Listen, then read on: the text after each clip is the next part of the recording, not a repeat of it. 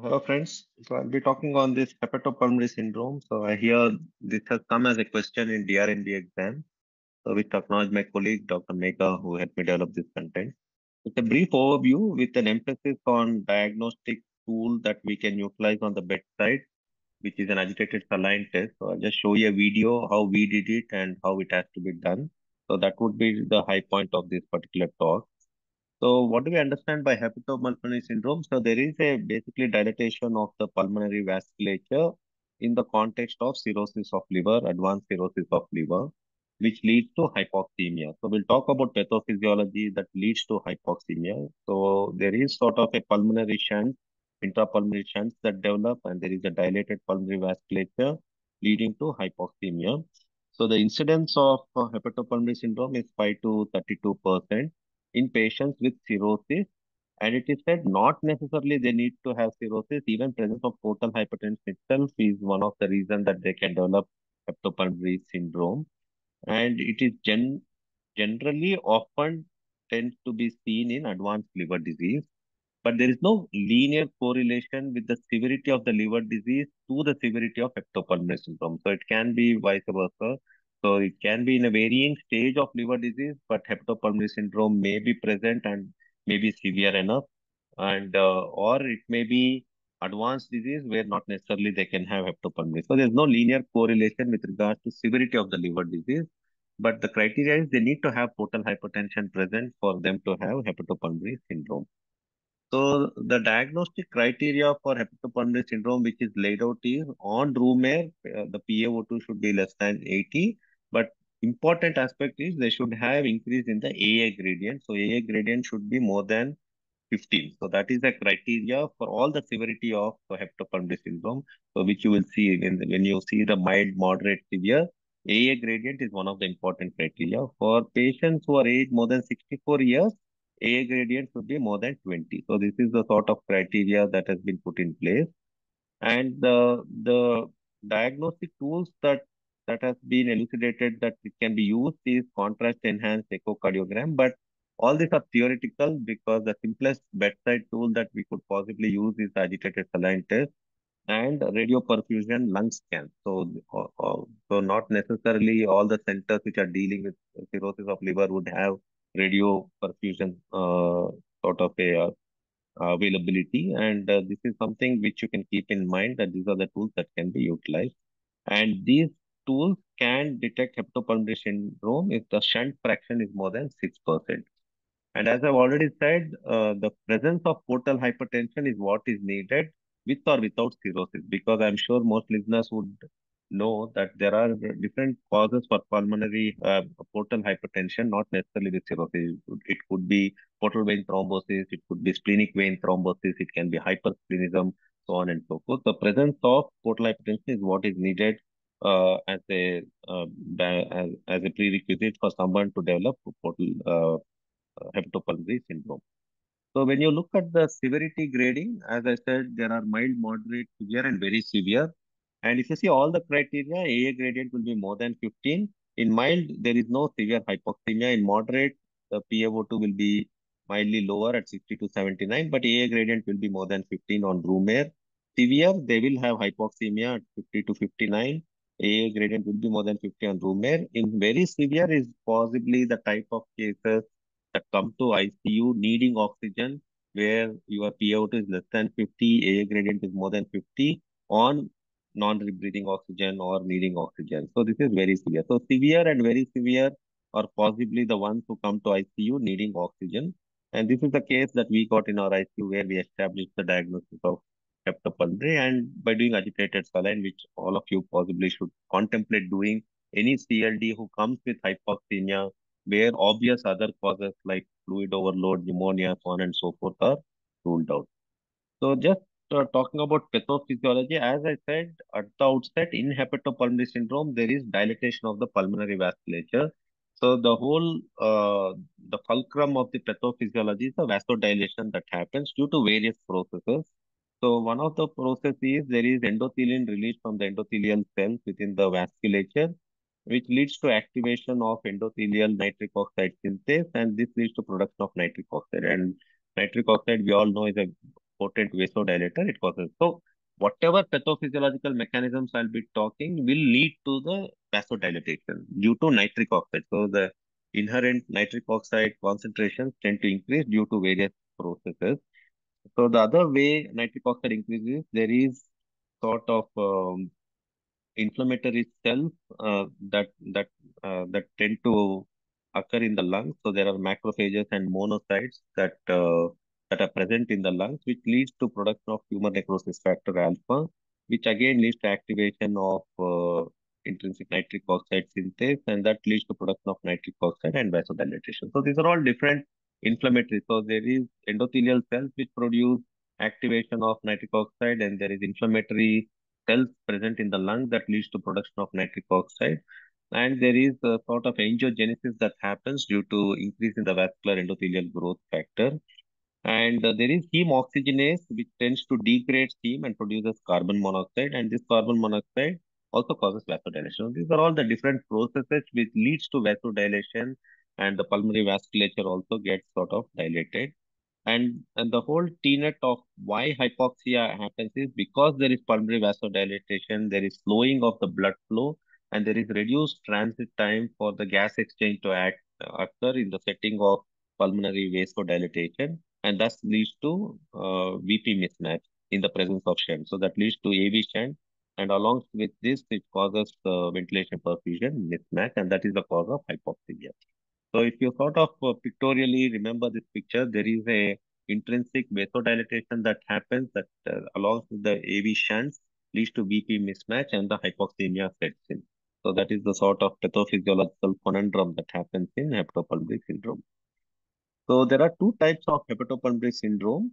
So there is type 1 and type 2. So the type 1 hepatopulmonary syndrome, the AV shunts tend to happen at the alveolar uh, capillary sort of a junction or at the pulmonary vasculature at the alveolar level. So there is a shunt mechanism that happens at the alveolar level in type 1 and these are the better ones. They tend to respond to supplemental oxygen.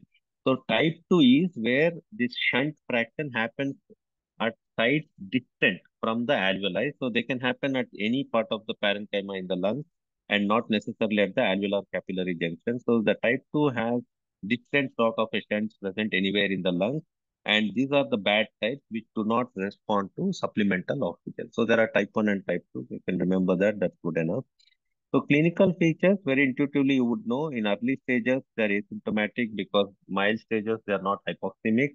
And uh, later on, as the disease evolves, they do get very dyspneic and uh, they can have exertional dyspnea and progressively tend to get worse. And of course, there will be uh, concomitant presence of signs and symptoms of CLD. So always some sort of a chronic liver disease, portal hypertension in the uh, should be present along with ongoing hypoxemia leading to shortness of breath is the uh, typical clinical features. So the hallmark features or the striking sort of a feature of hepatopulmonary is orthodeoxia. I'm sure most listeners would have heard of this term orthodeoxia from your medical school days where patients are not hypoxemic when they're lying down, but when they sit down, when they come to the erect position, there is a drop in oxygen. So this is a simple tool that you can do at the bedside to determine, and we have seen it in ICU where when we when we prop up the patients, they tend to get hypoxemia.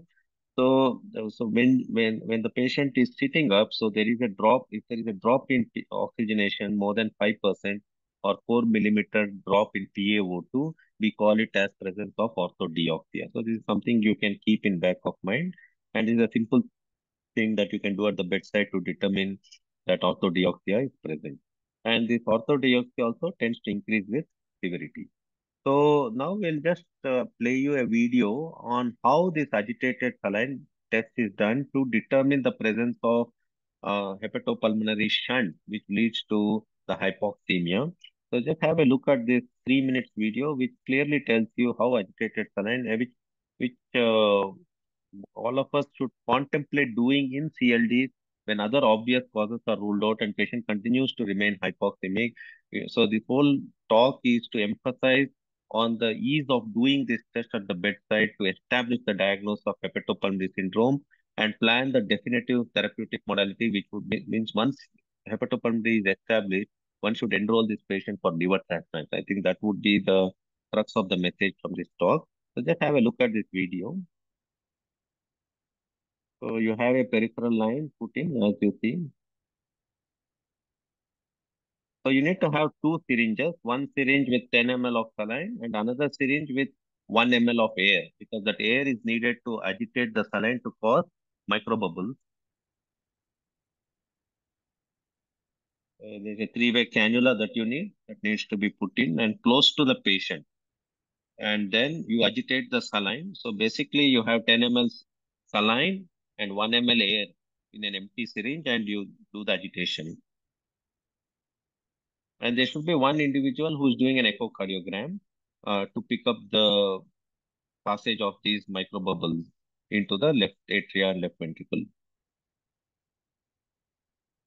So, this is a very simple thing. So the, it is an empty syringe with a 1 ml air, as you see here. And this is a syringe with 10 ml saline. So As you see, there is agitation happening. The valve has to be close towards close to the patient and then you agitate. So you create basically that agitation is done to create the micro bubbles. You know it is adequately agitated if it starts looking little cloudy. Hmm?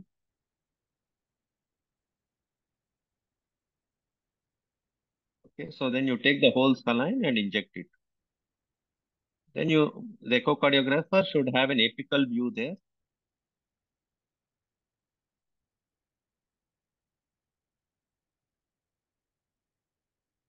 So then you would have to do an echocardiogram.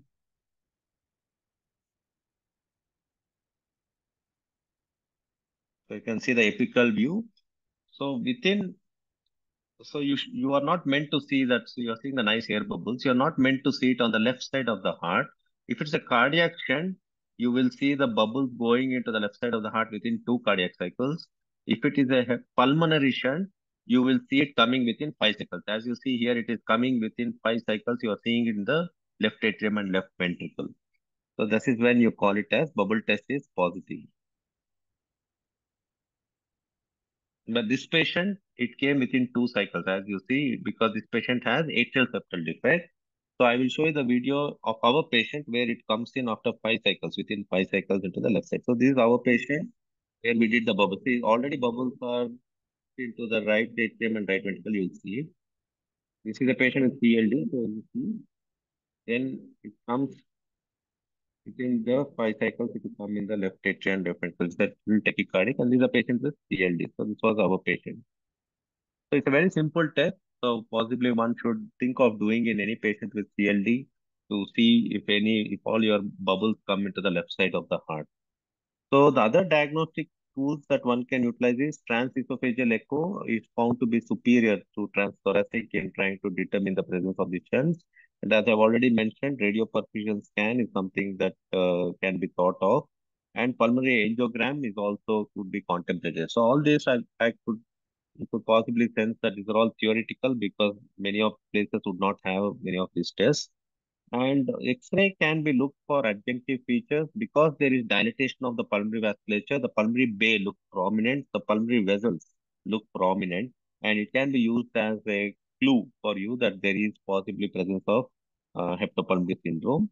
And uh, pulmonary function test shows reduced lung volumes with the reduction in the diffusion lung capacity of the carbon monoxide. So DLCO will be significantly reduced. Uh, so these are some of the adjunctive diagnostic modalities that could be used. So unfortunately, when you talk about treatment, there is no definitive treatment. Only supplemental oxygen is something that you can give. There's no medical management when there is hepatopulmonary syndrome that is set in. So TIPS has been tried where you put a shunt between the portal vein and the hepatic vein, but this has limited data and it has uh, not shown to be really helpful. So the most definitive therapeutic option is liver transplant. So one has to consider liver transplant for long-term survival benefit. And uh, in, in patients who have a big shunt where pulmonary artery is significantly dilated, they have tried to use uh, this endovascular coiling to close this shunt. So this is something that they have done when the shunts are very huge uh, in the pulmonary vessels. So prognosis, if someone has hepatopulmonary syndrome, the mortality is doubled. So as it is cirrhosis of liver, they have a higher risk of mortality, but the mortality doubles up in someone who has hepatopulmonary syndrome. And they tend to have poor quality of life because of their oxygen dependency, shortness of breath, so on and so forth.